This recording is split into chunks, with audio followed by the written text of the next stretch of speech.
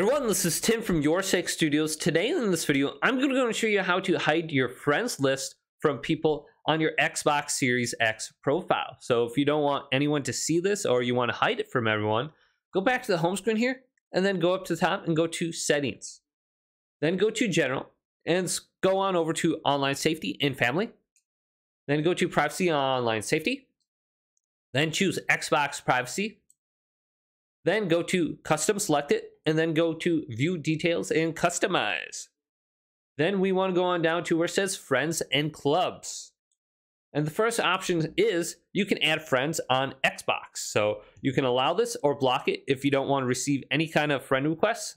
But the second option over is others can see your friends list. Decide who can see your friends list. So you have three options. You have everybody. You can set to friends only. So I'm going to go to friends only here. And then you do have the option to block it so nobody can see your friends list at all. So go ahead and change it to whatever you want.